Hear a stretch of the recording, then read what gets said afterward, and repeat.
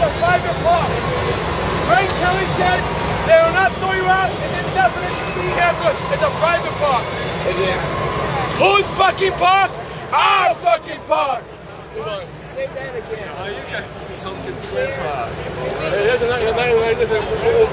Wow. So you're not being worried about being arrested for the mask? Good no. for you, man. Who gives a shit? Who gives a shit, right? Can we get a whole bunch of them for Halloween? Sure. Can we get the whole city wearing those? You should.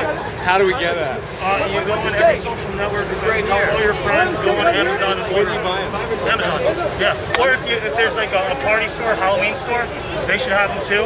What you do is you call a Halloween store in advance. If you want to do it without using your credit card and do it cash, call the, the Halloween store in advance. They will order as many as you need. It looks like great. Buy a whole bunch. They're only like four or five dollars, man. Word. Exactly.